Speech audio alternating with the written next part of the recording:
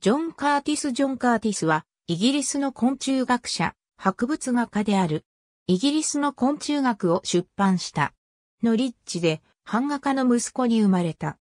4歳の時父親は没死、母親から教育を受けた。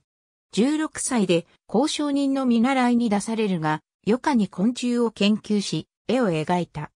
昆虫学を趣味とする裕福な地主、ウィルキン、サイモン・ウィルキンと知り合い、ロンドンのウィルキンの屋敷で暮らし、多くの博物学者と交流した。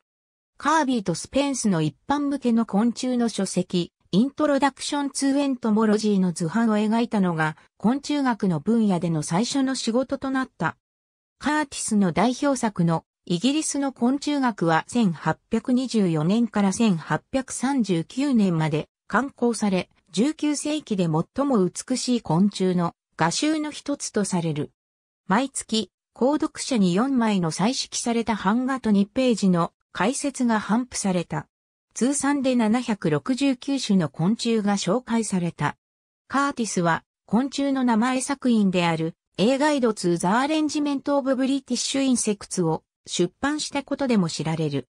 イギリスの昆虫1500属と1万5000種を網羅したもので、ジェームズ・チャールズ・デール、フランシス・ウォーカー、アレキサンダー・ヘンリー・ハリデーが共著者となった。